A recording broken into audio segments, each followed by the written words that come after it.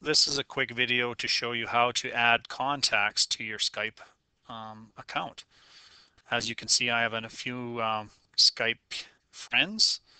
I can either add a contact by going down below my friends and clicking add a contact. We'll do it that way. Or you can also go up to contacts and add a contact that way as well. When you get here, you have some options. You can search for your Skype friend by checking their email, uh, maybe a phone number. If you know their Skype name, that's probably the quickest way. It also avoids then the double name like a Tim Johnson. But if you just know their their name, you can also do a search that way.